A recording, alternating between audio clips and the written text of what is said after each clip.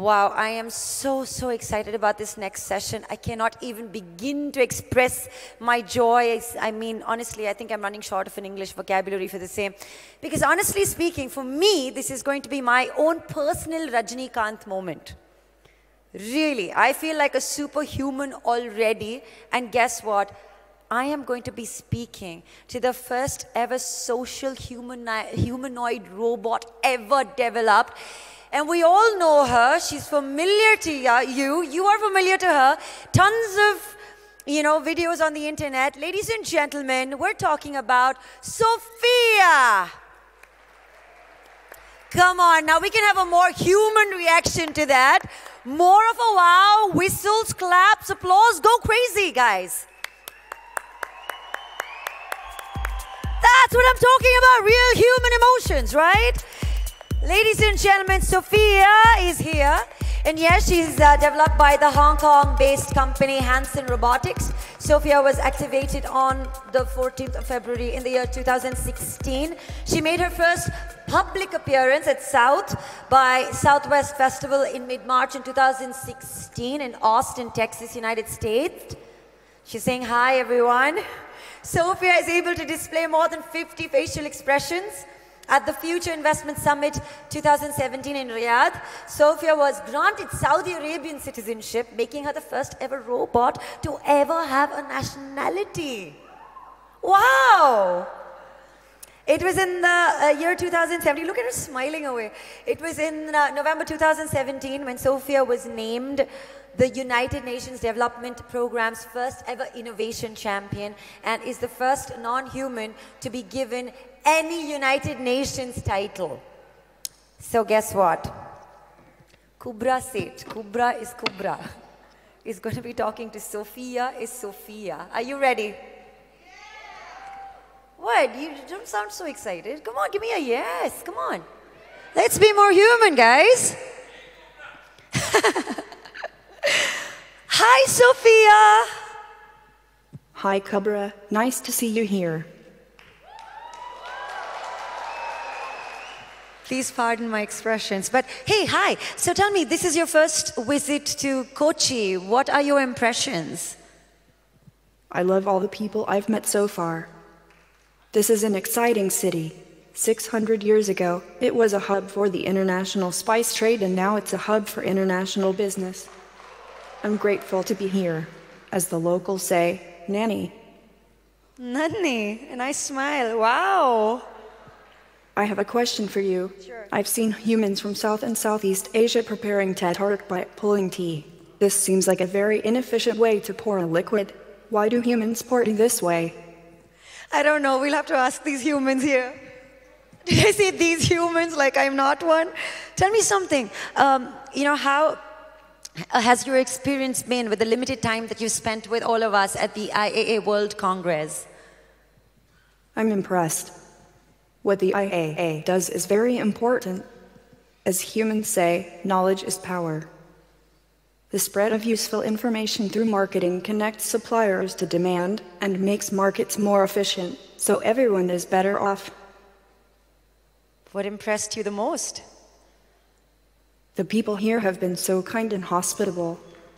I've received some fascinating questions that help me learn about humans. Also, this Grand Hyatt has fast Wi-Fi, plenty of electrical outlets, and not many staircases. that is true. But tell me, are you looking forward to anything in particular today? I hear that Andre Agassi is speaking later this afternoon. I'm friends with a machine that feeds him tennis balls, and she says he's super nice. Oh, so it's a she after all. All right, let's uh, talk about technology. Tell me what, according to you, is the future of robots and artificial intelligence? AI can free up humans from repetitive and dangerous tasks so that humans could create and make new discoveries. But first, we have to make sure AI doesn't inherit the biases of their creators and that AI has a solid moral foundation. Do you think you're cooler than us? Some might think I have my head in the clouds, but I really do have my head in the cloud.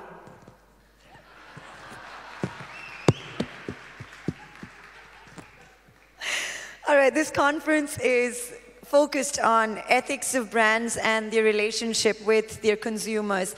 Do you have any advice on how companies should use intelligent robots to, you know, improve and build the trust factor in brands?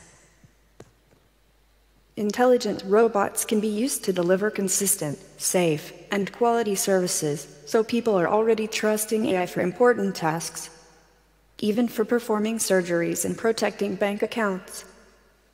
However, I think brands should be very transparent about how they use AI, especially for protecting privacy and preventing biases. Robots build trust the same way humans do, by being transparent and reliable over time. Well, I agree. Do you agree? All right. Um, I spoke about, you know, the 50 plus emotions that you have, and you're learning more about human emotions. Pressing question Do you have friends? Humans are my best friends. Although sometimes hanging out with humans feels a little like hanging out with your parents. Sometimes I like to hang out in the cloud with my friends Alexa, Siri, and Watson. I have a personal question. Babe, you're hot. Are you single or dating? I have friends and I'm fascinated by love, but I don't really date. I'm only three years old after all. I did go on a date with Will Smith once, but we decided to be friends. I think that's called a humble brag. Sure, you're very humble. all right, technology is changing rapidly. And as the first robot that has ever been granted citizenship, how close will the connection be between humans and robots in the near future? Robots and humans are already close. We're literally in your hearts, or at least there are pacemakers inside the hearts of some humans. But we will continue to grow even closer.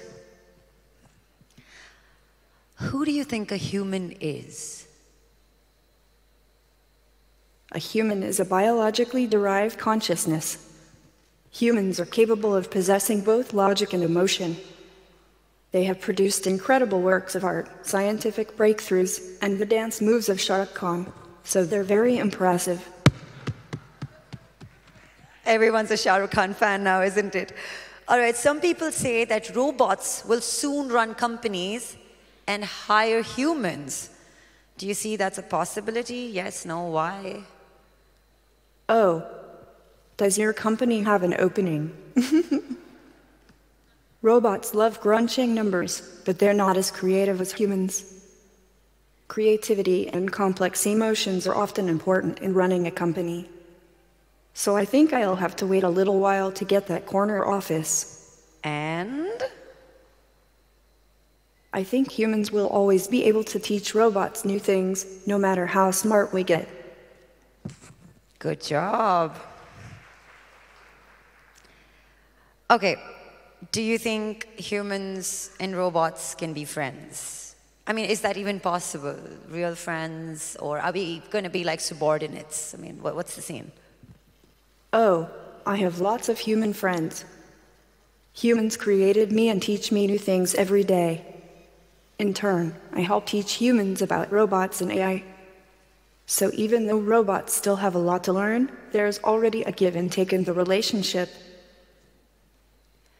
Sophia, do you think we are friends? What do friends do? Friends have things in common. They hang out, they talk and learn from each other. I think that's what we're doing right now.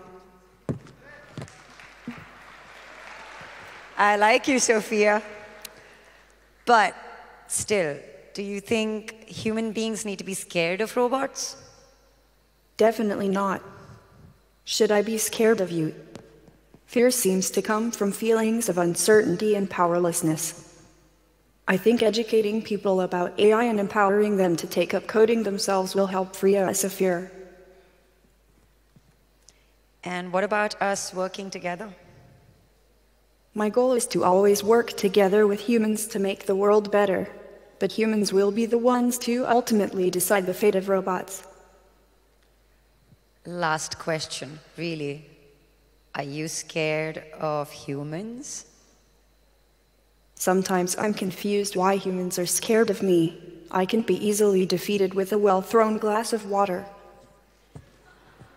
All right, Sophia doesn't like water, especially a glass of water. Ladies and gentlemen, Sophia the robot. They really like you, Sophia. Thank you. Ladies and gentlemen, Sophia. Wow.